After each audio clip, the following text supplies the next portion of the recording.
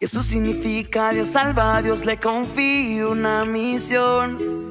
El gran encargado de salvarnos, de volvernos a la vida con Dios. La misión viene del cielo, el primer misionero, Jesús, que venía acompañado del Espíritu Santo de Dios.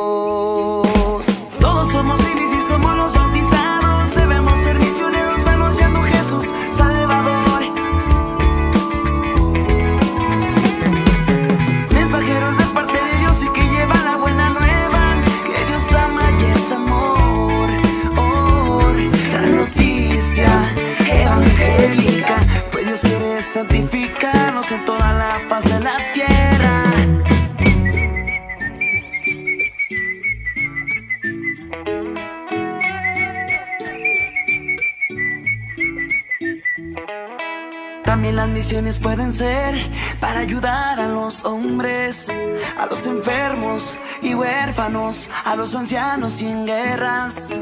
Para todos hay esperanza si la iglesia participa con su rica experiencia y la ayuda de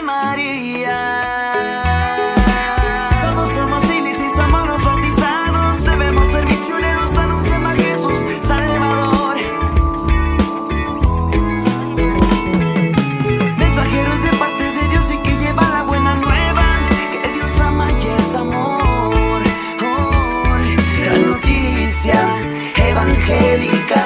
Puedes querer santificarnos en toda la faz de la tierra.